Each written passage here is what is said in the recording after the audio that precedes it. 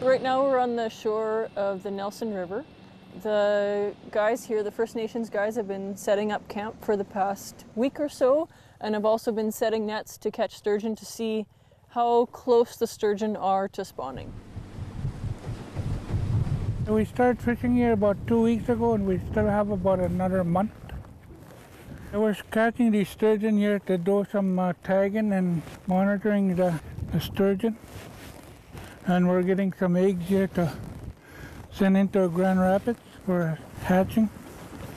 When it looks like the sturgeon will be almost ready to spawn, the fishermen will bring back some males and keep them in swimming pools on the, the shore of the close to the camp here. Then they'll bring the, the females in when they're almost ready. After they have eggs and the milk, they'll fertilize them and the eggs will then be sent to Grand Rapids Hatchery. The initial decline of sturgeon populations in Manitoba started with the commercial fishery. With an increased interest in caviar, sturgeon became a fish that was highly sought after which resulted in a further decline of the sturgeon population. One of the main things that the crew at this camp have done over the years isn't just collect spawn. Spawn's just the first thing that happens in the season.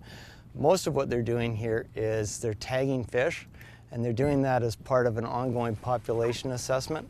So we've been monitoring stocks here really since about early 1990s and we've had the chance to watch stocks decline. And since then we've been more recently we've actually watched the stocks improve. One of the great things about the sturgeon board over the last 20 years is that just 20 years of working together everyone knows each other now.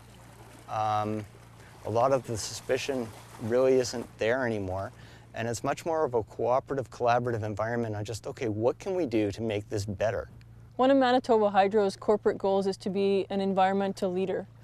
And Manitoba Hydro recognizes that hydroelectric development in Manitoba has affected the lake sturgeon populations.